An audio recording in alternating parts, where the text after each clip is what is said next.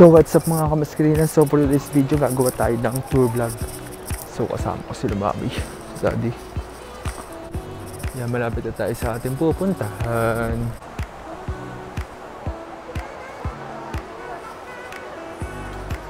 Ayan guys, napakaraming tao.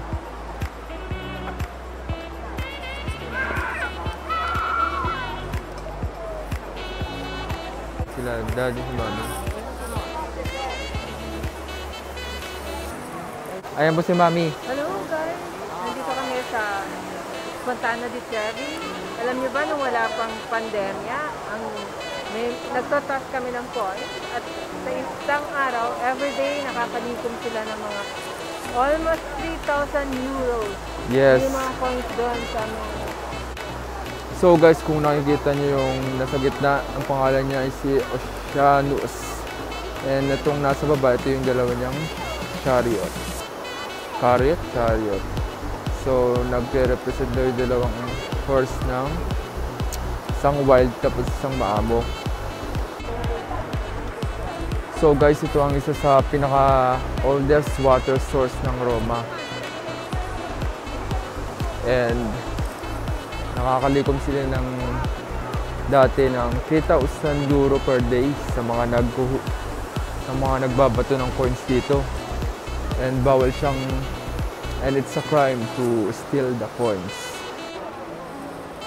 So itong fountain na to guys ay ginawa ni Nicolas Salvi at tinapos naman ni Giuseppe Panini. So yan guys, nagtulungan silang dalawa upang magawa itong napakagandang fountain. Kitang kita nyo guys na kahit pandemic eh napakaraming tao dito. Imagine, na, paano kung wala pang wala ng COVID. Hindi na naman na may maintain ang social distancing. May police.